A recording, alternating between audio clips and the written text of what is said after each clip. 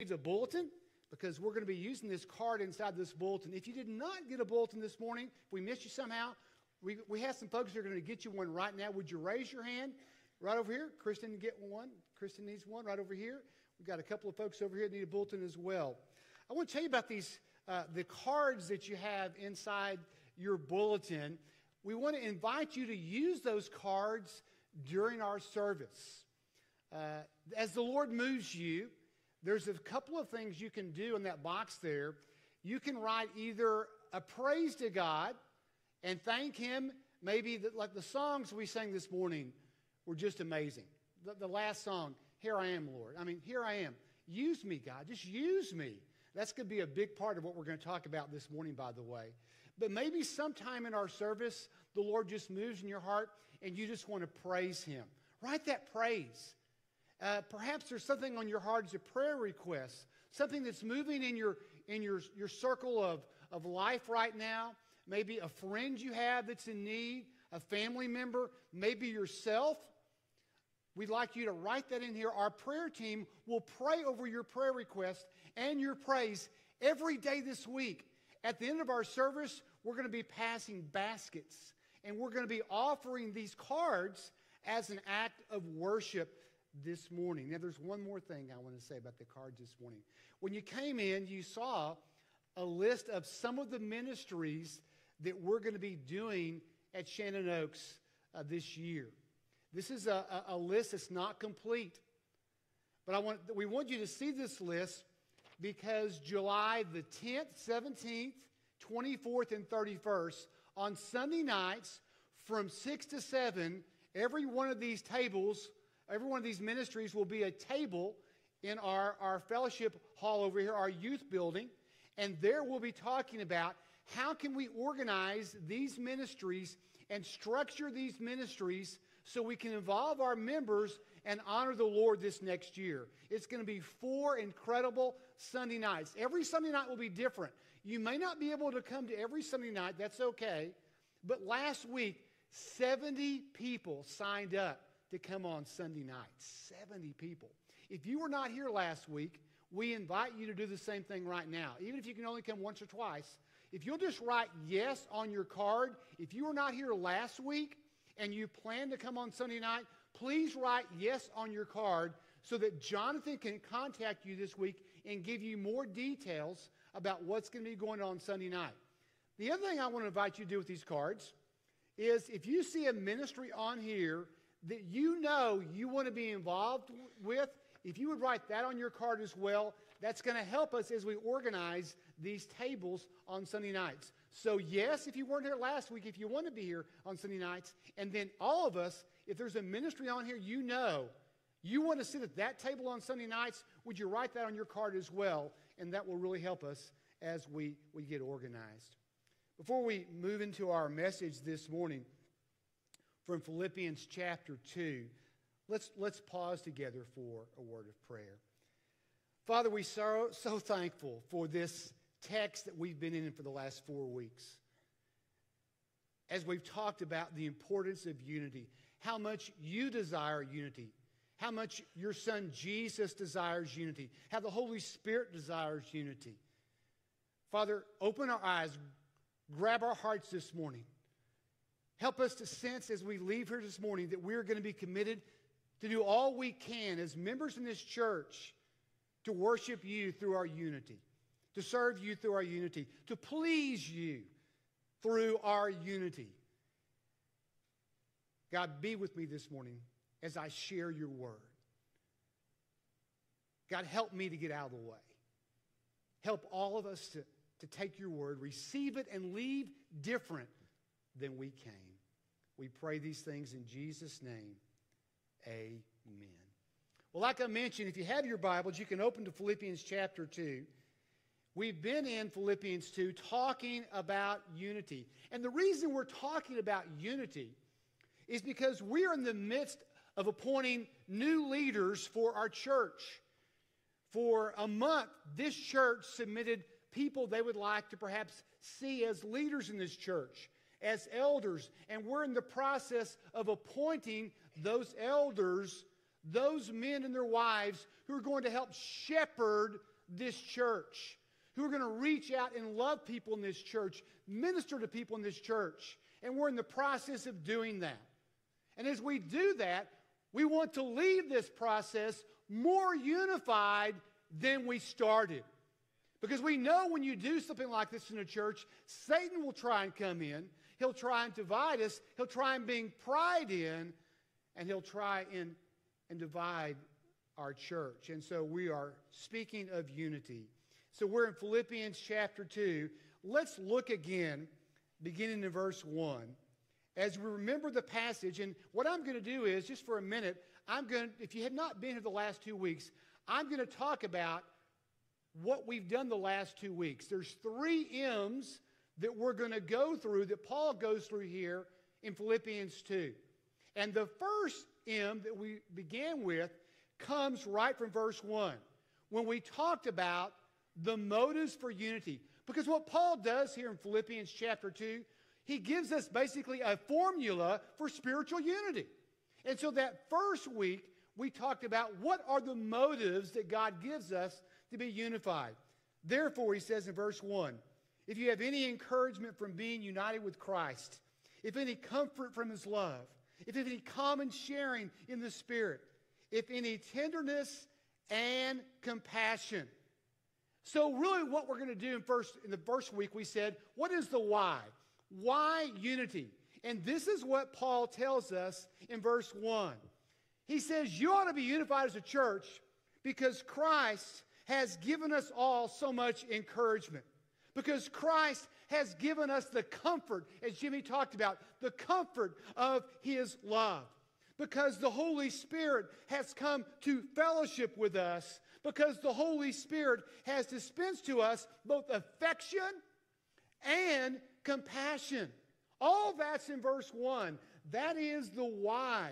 Those are the reasons for unity. Those are the motives for unity.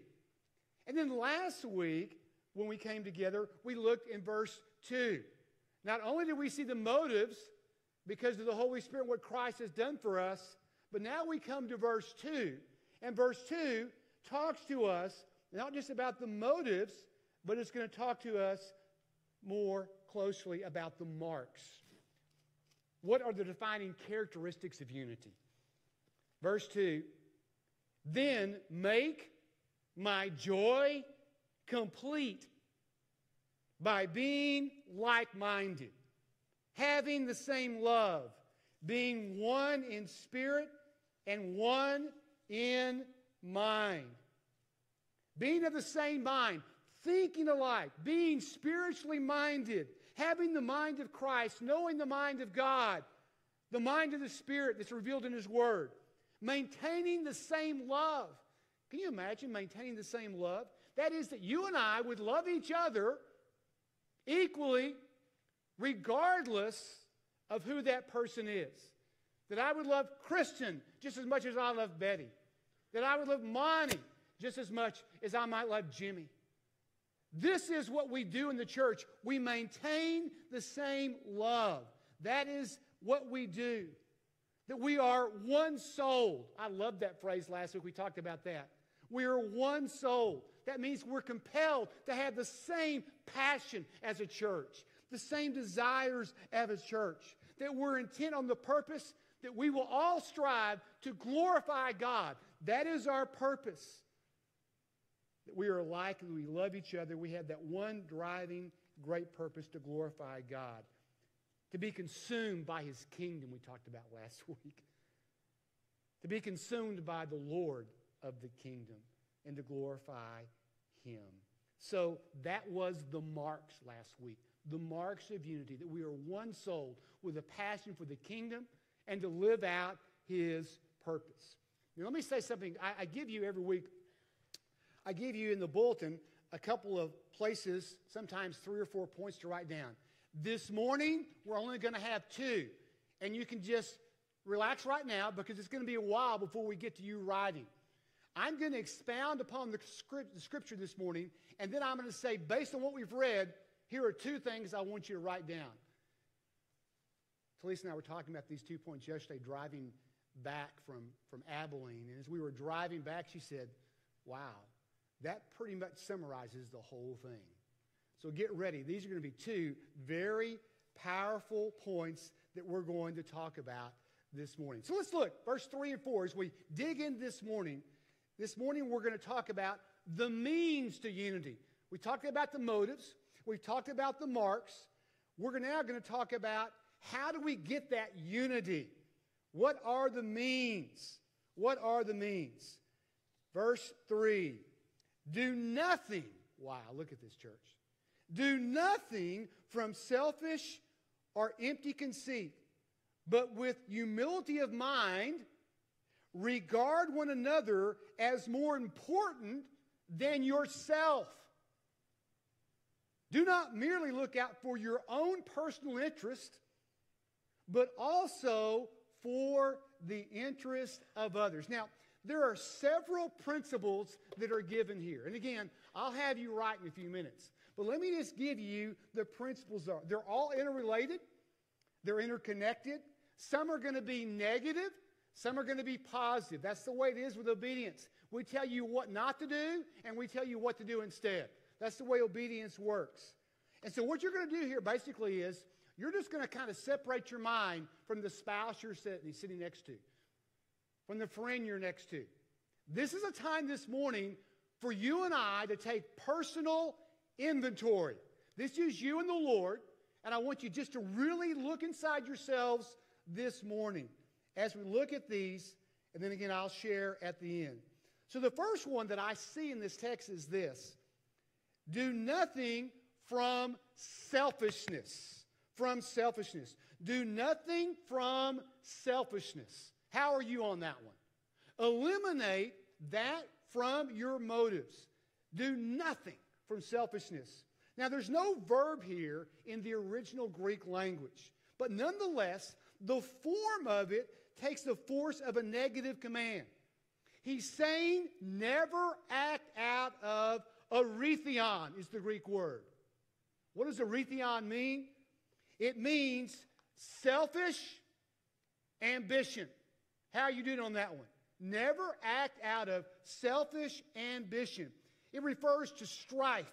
As soon as you become selfish, this is the truth, literally, you're at war with somebody else.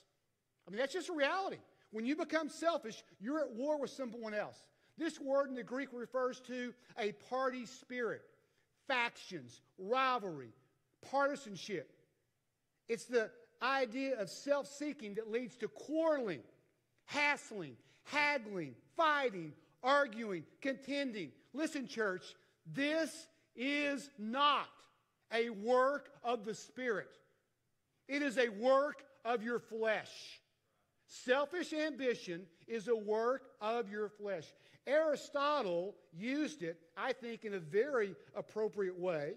Aristotle says it fits right into where we are as Americans now when he said this it's the self seeking pursuit of political office by unfair means.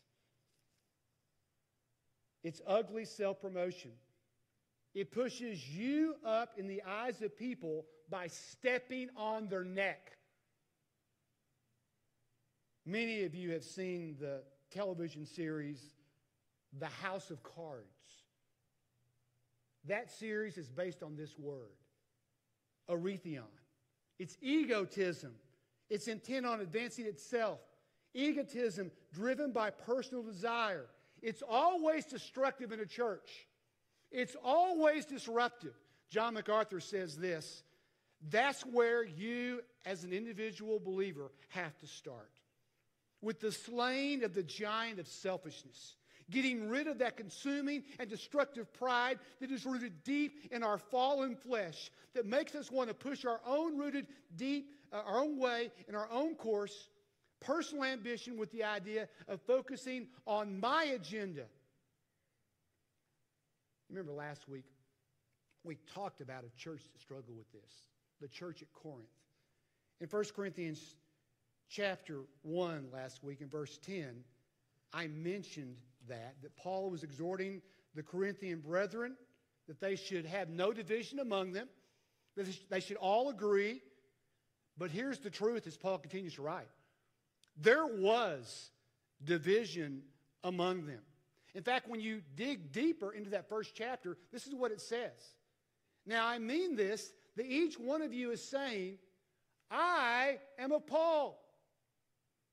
I am of Apollos. I'm of Cephas. I'm of Christ. Cephas obviously being Peter here. And so, what was happening in this Corinthian church, you had these factions, these little divided factions. People putting down their flag and saying, This is my guy, and I'm going to fight you about my guy, because my guy's right.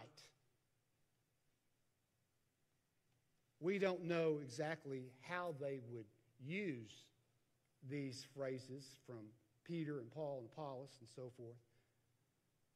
But when selfishness takes over, when you start putting your flag down in the church, then jealousy comes. Jealousy leads to strife. Strife leads to conflict. And conflict leads in a church to the loss of unity. And so it says this look, first of all, do nothing with that kind of motive. Absolutely nothing. Eliminate that from your life. If you've been in a church very long, you've seen this. I listen, it's crazy. I've seen churches divide over this topic. I believe foreign missions is more important than local missions, and they fight about that. They're fighting over missions.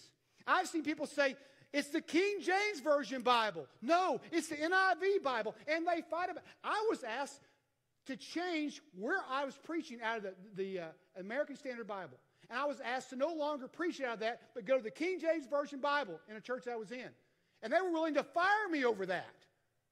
This is what churches do. They put their flags down, and people who are supposed to be united together, they fight. It's my cause, it's my faction, it's my group.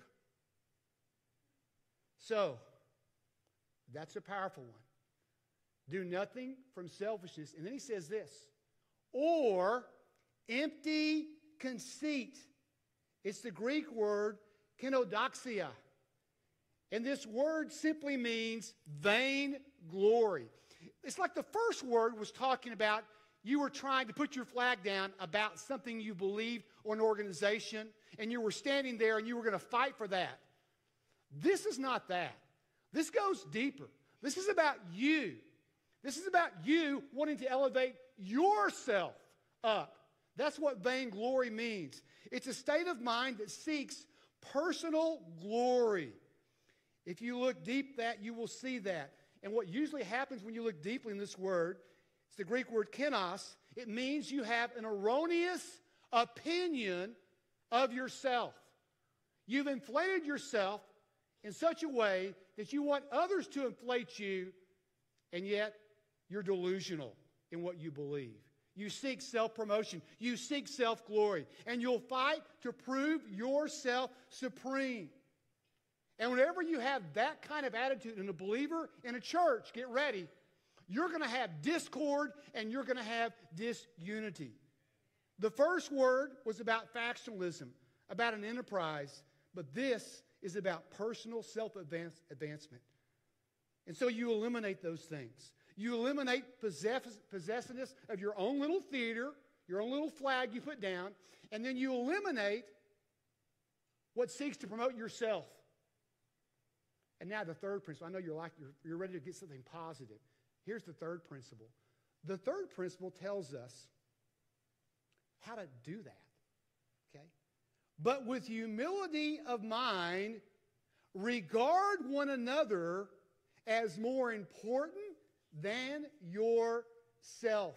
Instead of being personally ambitious and personally vain and being proud of both those things, instead of that, you are to be focused on humility. One scholar said this unity in a church is always born of humility.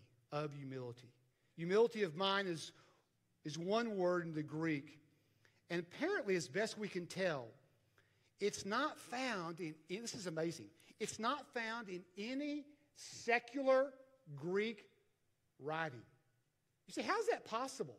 How can humility not be in all the ancient texts? How can you never find the word humility? In other words, what you're finding out here is the New Testament basically is going to invent this word in the, in the Greek culture.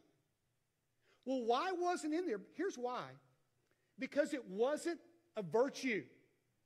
Humility was seen as that of derision, of that of derision. There's an adjective form, tapeinos, and it really talked about that of being a slave. And when tapeinos was used in the secular Greek language, this is what it was saying. You were being base, shabby, scummy, unfit, low, common, valueless, useless. Humility was never seen in the pre New Testament pagan world as a virtue. If you look in your Old Testament, God lists it up all the time. In the Old Testament, God hails the virtue of humility. If you read the Old Testament, you'll find that He chose the insignificant and the humble to do His work. That He saved the meek and He saved the humble. That He heard the prayers of the downcast. That He gave grace to the lowly. It was there and all the time in the Old Testament, but paganism never picked up humility. And in paganism, to be humble was to be base, common, useless, valueless, worthless. And all of a sudden, you came to the New Testament and it gets turned into a virtue. Paul defines it. Humility of mind here is regarding one another as more important than yourself. More important. How can I do that? I mean, let's be honest. Most of us feel better about ourselves when we see other people fail.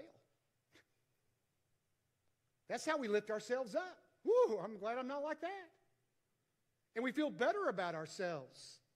We gloat. How can you consider yourself superior or inferior to others? Can you do that? So I'm going to take you through a thought process. John MacArthur does this, and I'm going to steal this from John MacArthur. It's really good. And I, w- I want you to listen to this thought, thought process. Do you know the heart of any other person in this room? Do you know the heart of any other person in this room? The only sin that I know in another person in this room is what I've seen them do. I, have seen them sin, but that's the only sin I know. But I don't know their heart. I don't know what sin torments them. I don't know what grace abounds within them. But there is one heart in this room that I do know.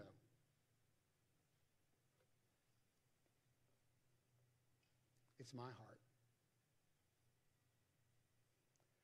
I know my own heart very well. I know the sin of my heart.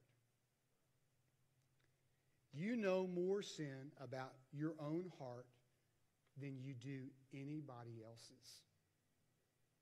So if we're talking about the level of firsthand information, who is the worst sinner you have ever met? It's you. You. When we get to a study on the Gospel of Matthew, we'll start there in two weeks, studying the life and public ministry of Jesus. Eventually, we'll get to Matthew chapter 5, and you'll get to that Greek word, ptochos, it means poor in spirit. And you're going to find that this is the beginning of all spirituality of you recognizing I'm the worst sinner that I know.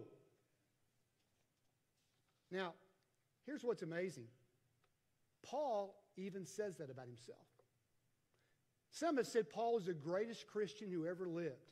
So, how can he say this? Here is a trustworthy saying that deserves full acceptance Christ Jesus came into the world to save sinners, of whom I am the worst. I could take you to 1 Corinthians 15 9, and I could show you where the Apostle Paul says this I'm the least of all the apostles. I'm not even fit to be called an apostle. Why could he say that? Paul wasn't just showing fake humility, Paul was being honest. He was saying, I'm the worst sinner that I know. And yet Christ Jesus came to save even me. And so, what we see in this point is that we can, with humility of mind, regard others more important than ourselves. We can do that if we're honest with who we are. So, do not look merely out, he says, another solution to your problem, for your own personal interest but also for the interest of others. You need to be responsible to your family.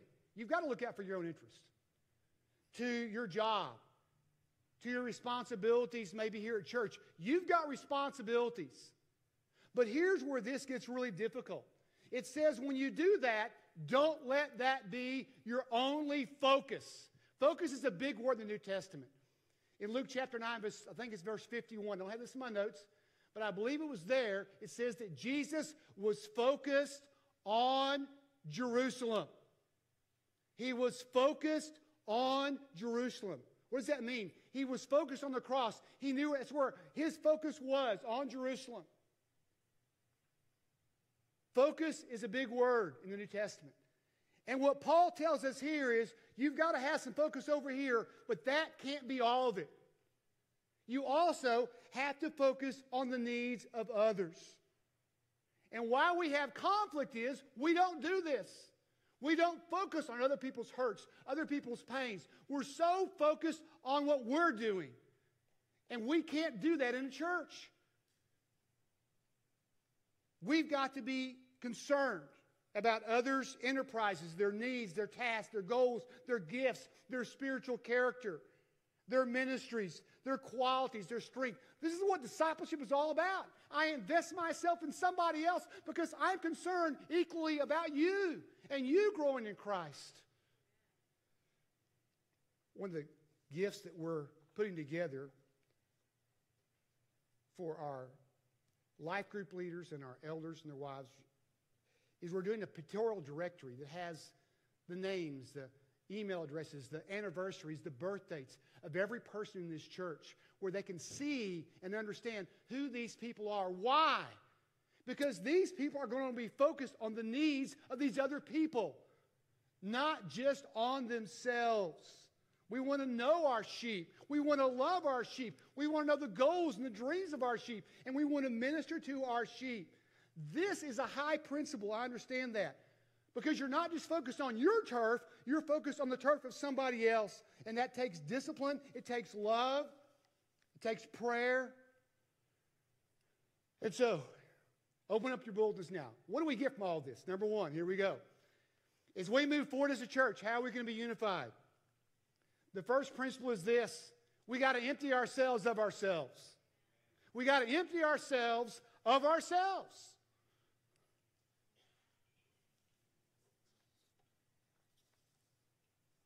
Paul says, I'm going to give you an example of this.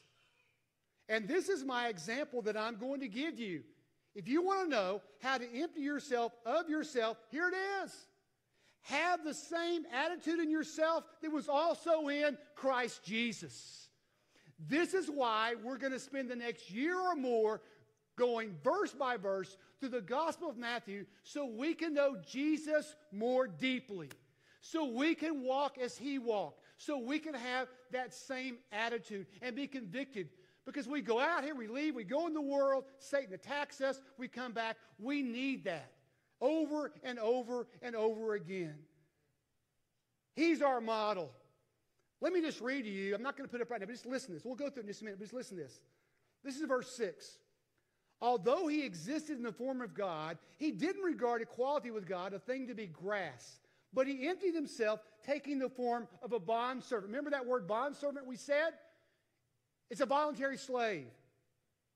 Being made in the likeness of man, being found in the appearance as a man, he humbled himself by becoming obedient to the point of death, even death on a cross. He did not look at his own things or on his own things or his own interests, but on the things of others. He set aside his own importance and looked at others as superior in sense, and he died to give them life. In other words, Jesus is the living model of verses 3 and 4 in Philippians. He is the living model. So we empty ourselves of ourselves, and then what do we do? I mean, this is so simple, but this is it. We fill ourselves with Christ. We get rid of all the selfishness and we fill ourselves with Jesus. And this is going to be my passion for you over the next year and a half.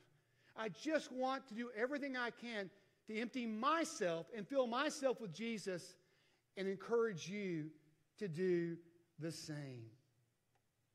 And so I want to close out by now just looking with you at the next few verses in Philippians. And this will be our conclusion. Let's really worship as we do this. Let's worship as we do this. Who, although he existed, talking about Jesus, in the form of God, did not regard equality with God as a thing to be grasped.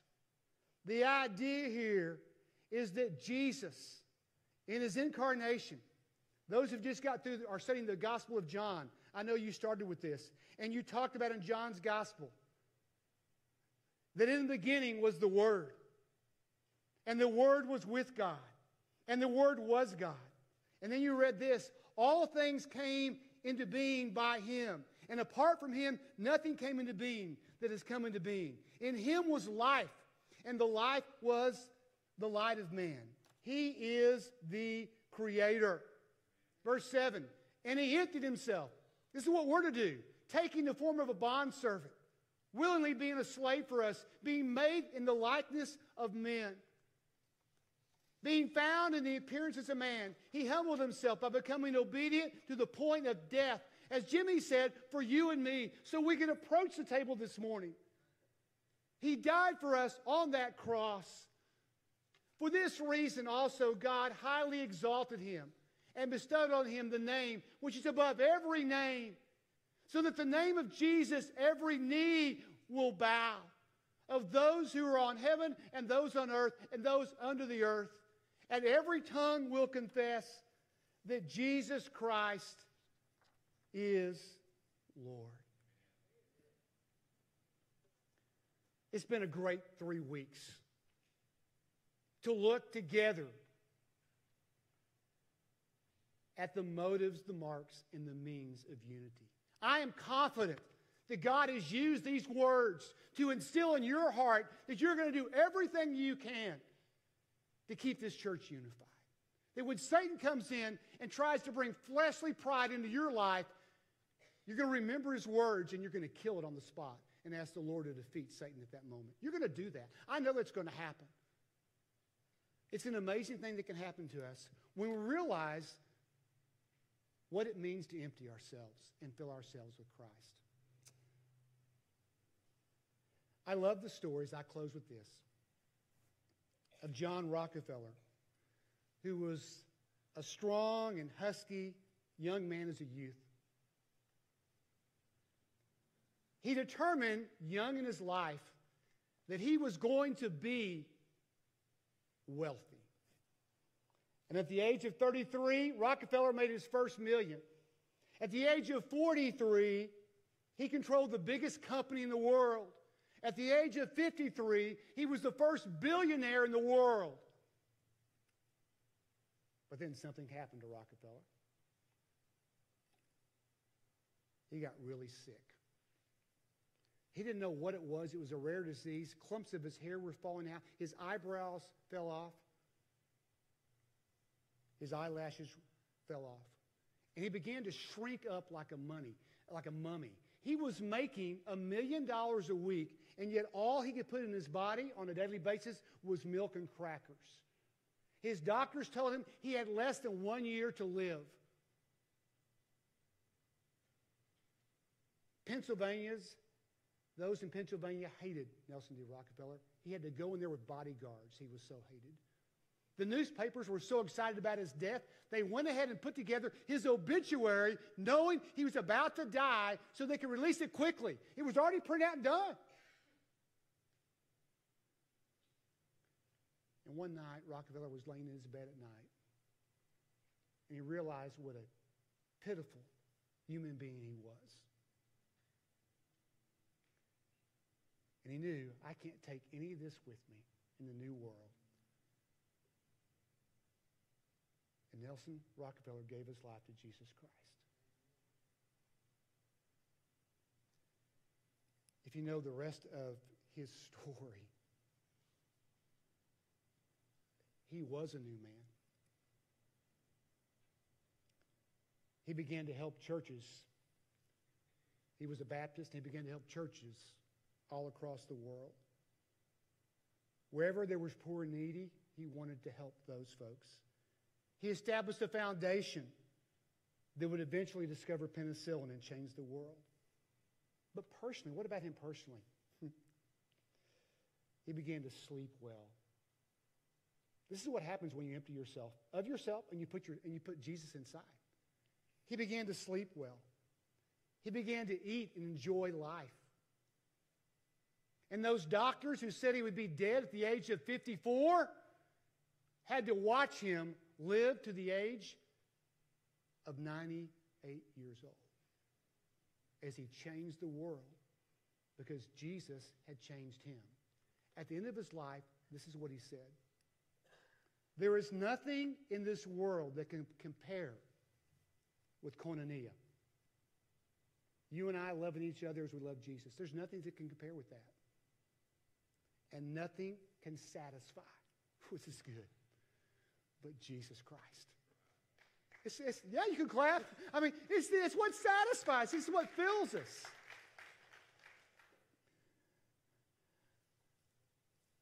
Love this as I close out with C.S. Lewis says this. He says, Our desires are not too strong, but too weak. We are half hearted creatures fooling about with drink and sex and ambition when infinite joy is offered us, like an ignorant child who wants to go on making mud pies in a slum because he cannot imagine what is meant by the offer of a holiday at sea. That's what God offers us. Rockefeller discovered it. Have you discovered it? Are you filled with joy and peace and purpose in your life? All these things we've lifted here, these are just going to be reactions from us to the Lord. These are just how we're going to worship God. God, you filled me with Jesus. I've emptied myself. How can I serve you? That's all these are. That's all these are. And there's, there's a question mark down here because we'd like for you to, if there's something on here we haven't thought of, like someone just said, well, we have a card ministry. That's not on here. Another one said, a benevolence ministry. We want that on here. Another one said, our security team ministry. Whatever's in your heart. But all these are is, these are our response to God. How can we serve you? How can we be united as a family and serve you? We do that by emptying ourselves of ourselves and filling ourselves with Jesus. It'll change your relationship with your spouse. It'll change your relationship with your workers. It'll change your relationship with your kids. And it will certainly change your relationship in this church. I can't wait to watch us move forward united, hand in hand. All of us filled. We're going to ask our prayer folks to come down. They're going to be on both sides down here. And, and maybe in some way this morning, you know that's not true about you. You know there's something still inside of you you're holding on to. And because of that, you don't have this joy. Let it go this morning. Come this morning and let us pray for you and leave this place with joy and purpose. And be united with us as together we all walk out of here filled with Jesus. If you want to respond in any way, let's all stand together. please come and, and be with our prayer team and pray with us as we sing this song.